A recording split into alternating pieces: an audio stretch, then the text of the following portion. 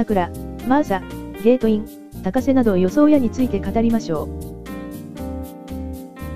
う。外し打ちがいないやり直し。浦和は P だ、素直じゃねえ。一致に狙い撃ち追加。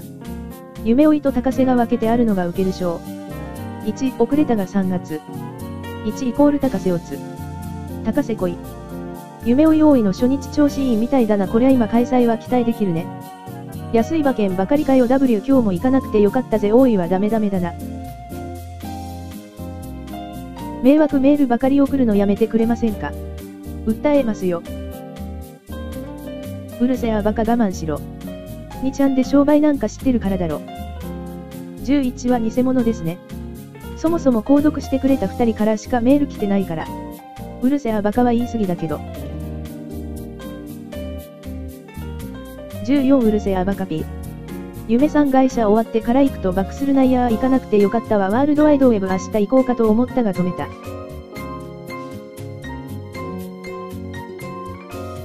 自分の蘇生が知られないからって言いたい放題 U14 のようなカスが一番 P はいいのに。あ、15か卑怯者はマジ P はいい。18その気持ちはわかるけどもういいです。ここには書き込みしないので用がある人はメールして。所詮上のようなクズはこういうところですし。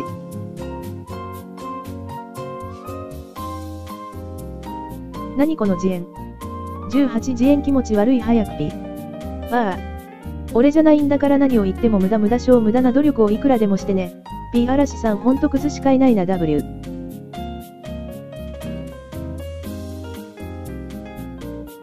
高瀬はガラケーじゃないだろ W ガラケーでなりすまししようとすんなよ W。それガラケーじゃないよ高瀬かどうかは知らん。ガラケーの第三対抗が書き込みますガラケーだと末尾が変わるのか。夢追い、今日に限って外した鬼パンダが来たピーロイマジで P すぎるだろ時空回らえる。ピーロイひでえよ。ピーロイが80点以上で予想してくれれば設けられるのに今日は残念ながら50点も上げられませんわ。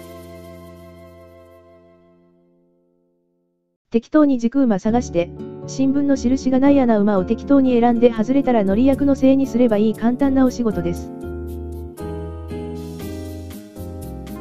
38、麻雀、宝くじと違い、当たりが必ずあるわけだ。適当かどうかは抜きにして、これらの評論家や指南役より良心的やで。外し打ちとかも中央の半笑いとかと比べたら値段も的中率も全然良心的だな。10月1日夢追いの結果 1R 馬服790円馬1絵920円 3R 単勝150円馬服360円馬1絵450円3連服560円。昔の夢追人は、乗り役が80点で乗ってくれたら都会はなかったなぁ1日分の予想にも前日の的中自慢は記入しなかったのに、そういうところが書く。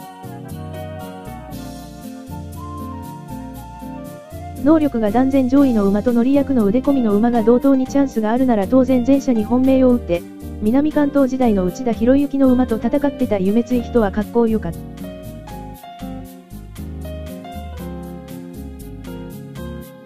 夢を得ない人に解明した方がいいわ。今開催は不調だったな。